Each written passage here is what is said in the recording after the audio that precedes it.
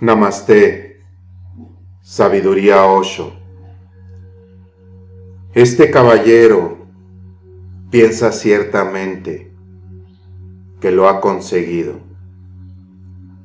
Está sentado en su enorme y super cómoda silla, a la sombra de su sombrilla, con sus gafas de sol, sus zapatillas rosas y su piña colada en la mano. No tiene energía para levantarse y hacer algo porque piensa que ya lo ha hecho todo. Aún no se ha volteado hacia su derecha para ver el espejo quebrándose a su alrededor.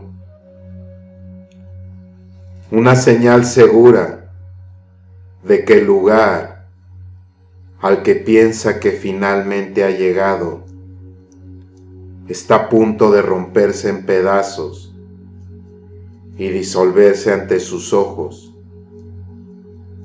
El mensaje que trae esta carta es que tu destino final no es ese lugar de vacaciones. El viaje aún no ha terminado,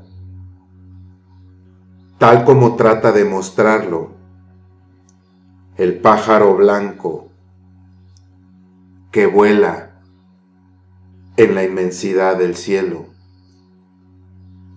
Tu complacencia puede que haya surgido debido a un sentido real de logro. Pero ahora ha llegado el momento de moverse. No importa lo cómodas que sean las zapatillas, lo sabrosa que sea la piña colada. Hay cielos y más cielos, esperando aún ser explorados. Sentirse perezoso es una tendencia negativa. Simplemente sientes que no tienes energía. Te sientes apagada, apagado. Simplemente te sientes adormecida te sientes muerto. Cuando estás en un estado de no hacer, entonces estás lleno de energía. Es un sabor muy positivo. Eres pura energía, desbordante.